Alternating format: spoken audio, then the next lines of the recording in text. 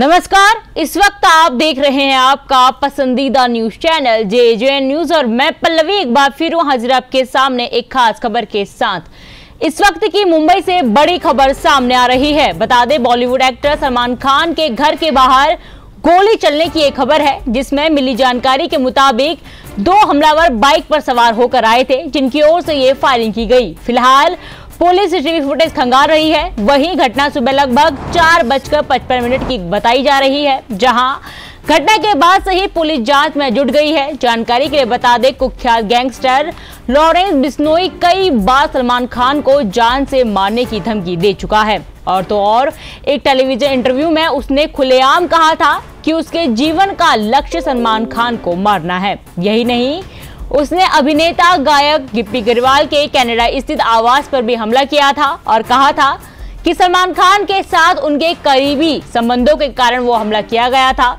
जिसके बाद लॉरेंस बिश्नोई की धमकी के बाद से ही मुंबई पुलिस ने सलमान खान की सुरक्षा की समीक्षा भी की थी और अब इस घटना के बाद पुलिस ने सुरक्षा और बढ़ा दी है। फ़िलहाल इस खास रिपोर्ट में बस इतना ही। ऐसी ही तमाम खबरें देखने के लिए देखते रहे जे जे न्यूज़। धन्यवाद।